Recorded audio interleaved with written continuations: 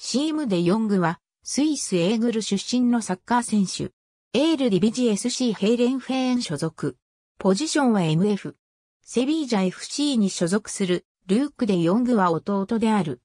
ヘルダーラント州のドゥーティンヘムにある、アマチュアクラブ DZC68 でプレーしていた時に地元のプロクラブであるでフラーフスハップにスカウトされた。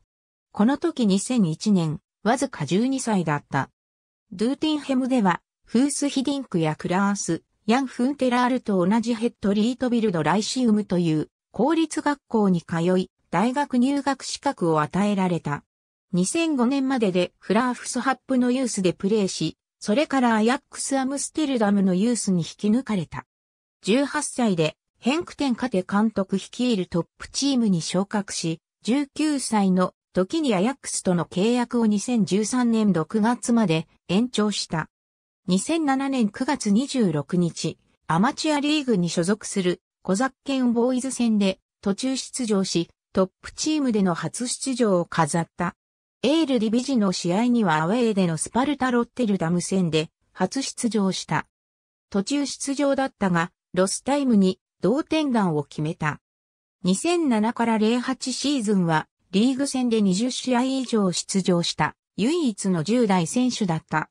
ビレム通戦で全治2ヶ月の負傷を負い、3月16日からのハードな対戦への出場を逃した。4月上旬に復帰し、デフラーフスハップ戦でエドガー・ダービッツに代わって途中出場した。2007から08シーズンは国内リーグ、国内カップ、欧州カップ戦に合わせて28試合に出場して2得点した。2008年夏にクラブは史上最高金額で FW ミラレムスレーマニを獲得したため、デヨングは主に彼の控えという位置づけで10試合しか出場しなかった。2009から10シーズン序盤は4から4から2、フォーメーションを採用したために、ポジション獲得はならなかったが、チームが後半戦に4から3から3フォーメーションを採用すると、22節の FC2 エンテ戦で優勝を争うライバル相手にシーズン初得点を決めた。フィテッセ戦、ヘラクレス・アルメロ戦、NEC 内目編戦で1試合に得点を決め、また26節から29節まで4戦、連続ゴールを決める活躍で、終盤の14連勝に大きく貢献した。リーグ優勝こそならなかったが、自己最多の10得点を挙げて、成長を印象づけた。フェーノールととの KNVB カップ決勝第一戦では、開始7分で2点を奪い、勝利を決定づけた。2014年7月1日、イングランドプレミアリーグに所属するニューカッスルユナイテッド FC への移籍が決定する。2016年8月23日、PSV アイントホーフェンにレンタル移籍した。2017年8月28日、アヤックスに復帰した。契約期間は3年間。2018年8月23日、シドニー FC に1年間のレンタルで移籍した。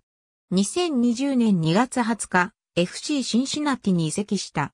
2020年12月4日、SC ヘーレンフェーンに移籍した。2007年春にオランダ U-19 代表に初選出され、2から0で勝利したチェコ戦で初出場した。UEFA U-19 欧州選手権2007年大会予選では3試合に出場したが敗退した。U-19 欧州選手権2008年大会予選では3試合に出場してそのうち2試合で得点した。2から0で勝利したジョージア戦では83分に得点し、1から3で敗れたノルウェー戦では15分に得点した。オランダ U-19 代表では通算6試合に出場した。2007年11月12日、マケドニア共和国戦のためにホッペデハーン監督、率いるオランダ U-21 代表に招集された。11月16日に試合が行われ、17日には監督がデヨングに対して、もはや U-21 代表ではないと述べた。しかし2008年2月5日、北京オリンピックに招集すると発言した。イタリアとの親善試合に招集されたが、前述の怪我により3から0で勝利したエストニア戦には出場できず、代役としてジョナサン・デグズマンが出場した。4月上旬に復帰し、再びチームに戻ったが、北京オリンピック出場は叶わなかった。